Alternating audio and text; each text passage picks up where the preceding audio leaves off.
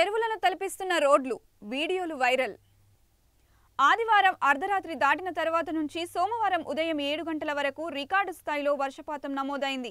ఆరు గంటల్లో ముప్పై సెంటీమీటర్ల వర్షపాతం నమోదైంది. పోవాయిలో ముప్పై ఒకటి పాయింట్ నాలుగు సెంటీమీటర్ల వర్షం కురిసింది. పలు లోతట్టు ప్రాంతాల్లో పట్టాలపైకి వర్షపు నీరు చేరడంతో సబర్బన్ రైళ్ళు రాకపోకలు అంతరాయం ఏర్పడింది. సెంట్రల్ రైల్వే రూట్లలో లోకల్ రైల్వే పట్టాలు దెబ్బతిన్నాయి. భారీ వర్షం కారణంగా ముంబైలోని పలు రహదారులపై భారీగా వర్షపు నీరు చేరి చెరువులను తలపిస్తున్నాయి.